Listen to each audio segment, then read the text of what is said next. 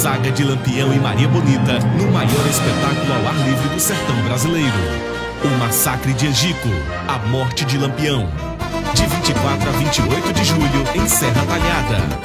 Uma história de amor e bravura no coração do sertão. Quando o homem se torna uma lenda.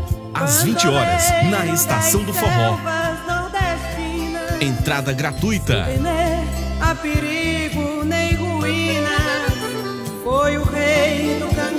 massacre de Egico, a morte de Lampião.